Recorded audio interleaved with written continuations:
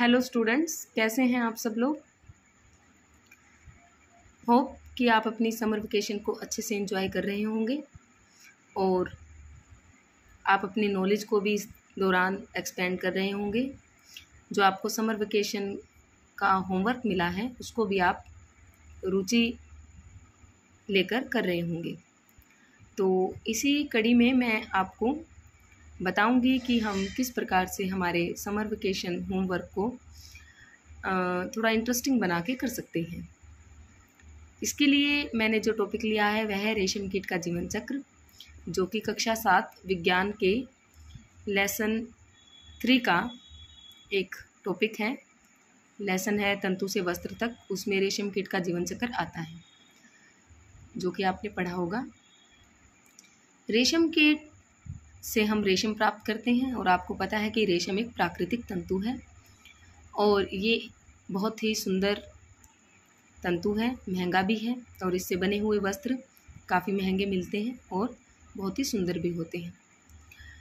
रेशम की खोज के लिए सबसे ज़्यादा जो श्रेय है वो चीन को दिया जाता है, ऐसा माना जाता है कि रेशम की खोज सबसे पहले चीन में ही हुई थी और उसके पश्चात चीन से फिर ये दुनिया भर के अलग अलग देशों में रेशम की जो जानकारी है वो फैली। तो हम रेशम कीट के जीवन चक्र को किस प्रकार इंटरेस्टिंग बनाकर सीख सकते हैं? देखिए, मैंने क्ले का यूज़ करके यहाँ पर रेशम कीट का जीवन चक्र दिखाया है। देखिए, हमने क्ले से मादा रेशम कीट बनाया है। मादा रेशम कीट अंडे देती है। और अंडों में से कुछ दिनों के बाद कैटरपिलर निकलता है, जो कि दिखने में बिल्कुल जो कपास की सुंडी होती है, उसके जैसा हमें दिखाई देता है। आपने देखी होगी। हम सभी कृषि परिवारों से आने वाले बच्चे हैं और हमें पता है कि कपास के अंदर एक विशेष प्रकार का कीड़ा लग जाता है, जिसे हम सुंडी बोलते हैं। वो बिल्कुल जो कैटरपिलर होता है वो बिल्कुल वैसा ही होता है। और आपने देखा होगा कि जो सुंडी होती है वो भी जो पौधों के पत्ते खाती है। तो कैटरपिलर, जो रेशम कीट का कैटरपिलर होता है, जो कि अंडों में से बाहर निकलता है, वो भी अंडों से बाहर आने के बाद लगातार शहतूत की पत्तियाँ खाता है। दिन रात बिना रुके पंद्रह से बीस दिन तक ये शहतूत की पत्तियाँ खाता है और उसके पश्चात फिर ये एकदम से खाना बंद कर देता है। और फिर ये अपने सिर को आठ की इस तरह से, आठ की आकृति में ऐसे हिलाता है।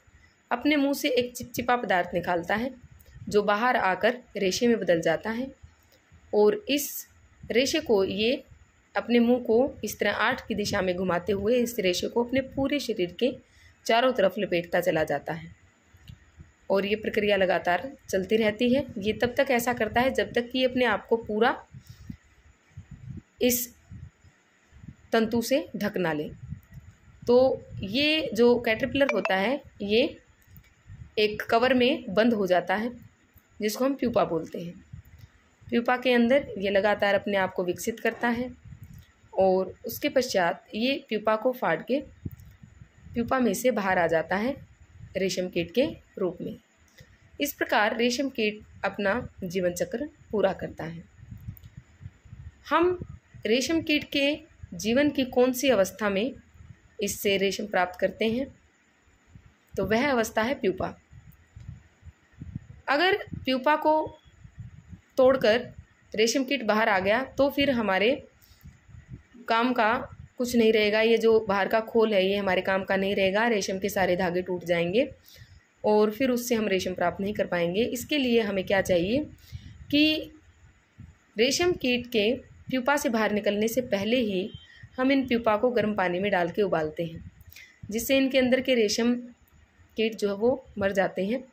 लेकिन जो बाहर का प्यूपा है, जो रेशम के तंतुओं से बना है वो प्यूपा गर्म पानी में डालने से उसके जो तंतु हैं वो अलग अलग हो जाते हैं और उनको फिर लपेट लिया जाता है और फिर बाद में उनको, उनकी बुनाई करके उनको धागों में बदल लिया जाता है और फिर उनसे रेशम के वस्त्र बनाए जाते हैं। तो इस प्रकार से रेशम कीट का जीवन चक्र हम क्ले की सहायता से देखें कितने रंग बिरंगे और मनोरंजक तरीके से हम खेल खेल में ही कुछ विज्ञान सीख सकते हैं। आप भी इसे घर पर ट्राई करना और मज़े मज़े में अपना समर हॉलीडे होमवर्क करना। Thank you